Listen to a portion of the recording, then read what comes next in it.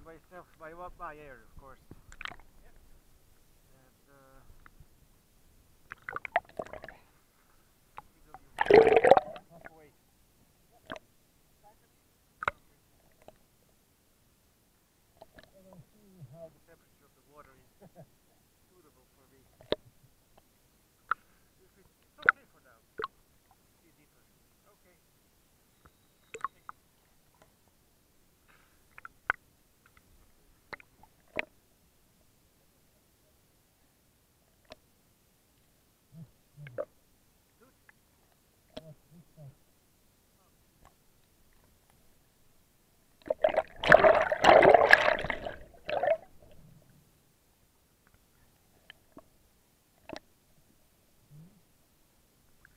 got it all.